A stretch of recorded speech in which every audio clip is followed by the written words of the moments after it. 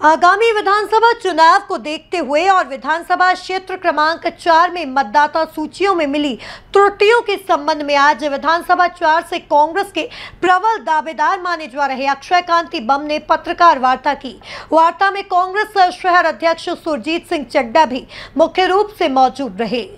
आज इंदौर की उषानगर स्थित अक्षय कांति बम ने अपने कार्यालय पर पत्रकार वार्ता का आयोजन किया इस दौरान अक्षय कांति बम ने मतदाता सूचियों में मिली त्रुटियों के संबंध में विस्तार से चर्चा की।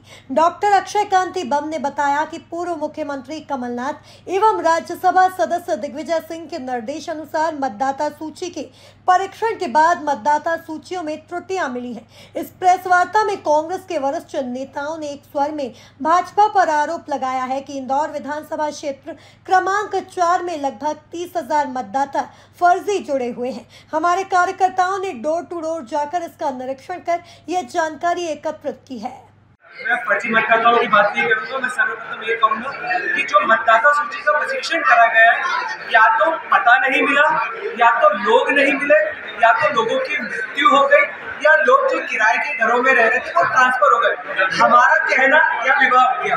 हमारा कहना इतना है कि जो मतदाता उस क्षेत्र में अब रहता नहीं है, वहाँ पे अपना मताधिकार कास्ट नहीं करेगा तो उसका नाम वहाँ से विलोपित होना चाहिए और वहाँ से उसका नाम हटना चाहिए। इसके अलावा करीब करीब चौदह हज़ार नाम ऐसे हैं जिनके नाम या तो दो बार आ रहे हैं या तीन बार आ रहे हैं। आप चाहेंगे तो उसका एग्ज़ाम्पल भी मैं आपको एक फ्रंट पेज में दिखाता हूँ। अगर आप ये देखेंगे, यहाँ पर सेम नाम लिखा हुआ है, अंकिता जैन, संतोष पाल नाम भी सेम एड्रेस लिखा हुआ है सेम उम्र लिखी हुई है, और इनका नाम बताता सूची में दो बार आता है। तो क्या इस तरह के दो लोग हैं? तो इस तरह के नाम जो डबल आ रहे हैं तो ये प्रशिक्षण करके उनको हटाना पड़ेगा। चुनाव का मतलब होता है निष्पक्ष चुनाव होना और जो आदमी सही है उसको सही उसकी मतगणना होनी चाहिए। और राजनीतिक दलों द्वारा भी बूथ के जो है अध्यक्ष वगैरह बनाए जाते हैं तो आपके बूथ अध्यक्ष ने अपने बीएलओ के माध्यम से क्या आपत्ति दर्ज करी है इसको ये सारी आपत्ति उन्हीं के द्वारा निकाली गई है क्योंकि आज चार नंबर विधानसभा में इस तरह की आपत्तियाँ निकालना कि कितने घर नहीं है कितने लोग नहीं है कितने लोग ट्रांसफ़र हो चुके हैं ये सिर्फ़ स्थानीय आदमी ही कर सकता है। स्थानीय आदमी के अलावा कोई नहीं कर सकता। कांग्रेस अपने बीएलए एजेंट्स आज से तीन महीने पहले बना चुका है। चार जन चार जून और छह जून को जब मीटिंग थी, तब ऑलरेडी सबकी नियुक्तियाँ हो चुकी है बीएलए की सेक्टर की और मंडल की। और उन्होंने भी दो दो तीन तीन बार अपना प्रशिक्षण करने के बाद अपनी आपत्तियाँ दर्ज कर विधानसभा क्षेत्र क्रमांक चार की मतदाता सूची की अनियमितता को लेकर इंदौर शहर कांग्रेस अध्यक्ष सुरजीत सिंह चड्डा इंदौर के कार्यकारी अध्यक्ष विशाल गोलू अग्निहोत्री, नगर निगम नेता प्रतिपक्ष चिंटू चौकसे एवं इंदौर के पर्यवेक्षक चंद्रशेखर के साथ साथ कांग्रेस के वरिष्ठ नेता सुरेश मिंडा ने मतदाता सूची में गड़बड़ी के आरोप लगाए। इस दौरान अक्षय कांति बम ने कहा कि हमारे कार्यकर्ताओं ने डोर टू डोर जाकर इसका निरीक्षण कर यह जानकारी एकत्रित की है कि विधानसभा चार में करीब तीस हज़ार मतदाता फर्जी जुड़े हुए हैं। डॉक्टर अक्षय कांति बम ने इस विषय पर पत्रकारों के द्वारा किए गए सवालों पर बेबाकी से जवाब दिए। उन्होंने बताया कि आपत्तियाँ 9 सितंबर 2023 को संबंधित कार्यालय में लगा दी गई है। यदि संबंधित प्रशासन इन त्रुटिपूर्ण मतदाता सूची पर जताई गई आपत्तियों पर कार्य कर त्रुटिपूर्ण वोटर नहीं हटाता है तो वो न्यायालय की शरण में जाएँगे।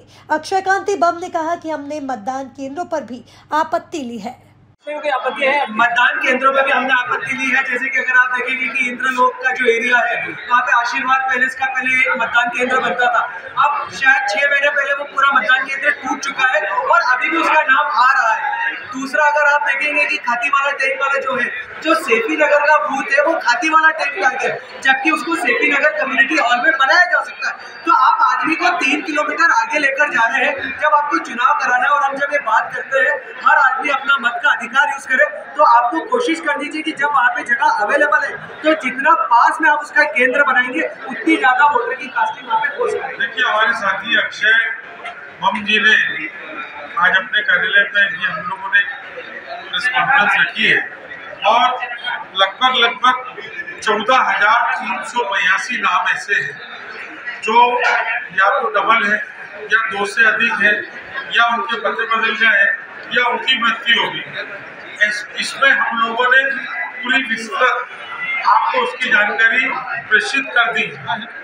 तो सब मिला के कुल मिला के ताना माना ये है कि पूरे इंदौर में भारतीय जनता पार्टी के लोगों ने सभी विधानसभाओं में लगभग बहुत फर्जीवाड़ा कर रखा है। जो पिछले कई चुनावों से चल रहा है। ये तथ्यात्मक इसलिए है कि मैं खुद कई चुनाव लड़ चुका हूँ। होता ये है कि जो लोग भारतीय जनता पार्टी के बीएलओ रहते हैं, वो लोग बीएलओ से पूरी जो नामों की सूचियाँ हैं, जो मतदान पर्चियाँ हैं, वो ले लेते हैं और बारी बारी से उसका मतदान कराते हैं। ये सबकी जानकारी में विदित है। आज सुबह ही विधानसभा क्षेत्र क्रमांक तीन में छह हज़ार लगभग की आपत्ति नाम सहित ऑन रिकॉर्डेड ली गई ऐसे ही विधानसभा चार में भी हम लोग आपत्ति ले रहे हैं। चौदह हज़ार तीन सौ बयासी नाम है, जिसकी हमने आपको विधिवत जानकारी दी है। और निर्वाचन कार्यालय को भी हम पूरी जानकारी समय समय पर देते आ रहे हैं। हमने माननीय जिलाधीश महोदय से ये निवेदन एक बार नहीं दो बार नहीं कई बार करा है कि जो नाम हॉस्टलर्स के हैं, वो एक हॉस्टल से निकलते हैं विधानसभा से, दूसरी विधानसभा में जाते हैं। हॉस्टल का एक जो एग्रीमेंट है, वो लेते हैं। हॉस्टल का एक बिजली का बिल की फोटोकॉपी लेते हैं। दोनों फोटोकॉपी लेके मतदान केंद्र में जाके वो अपना नाम जुड़वा लेते हैं। इस तरह का काम पूरी भारतीय जनता पार्टी करने में लगी हुई है। हमने इसके प्रमाण भी दिए और आज भी उस प्रमाण के साथ आज चूँकि कलेक्टर साहब इंदौर में नहीं थे एडीएम बच्ची जी को हमने सारी चीज़ों से अवगत कराया तो ये एक बड़ा खेल है। ये बड़े पैमाने पे वोटरों को रिशफल किया जा रहा है। इस विधानसभा से उस विधानसभा उस विधानसभा उस विधानसभा और इसमें सबसे ज़्यादा उपयोग जो है, वो स्टूडेंट्स का लिया जा रहा है।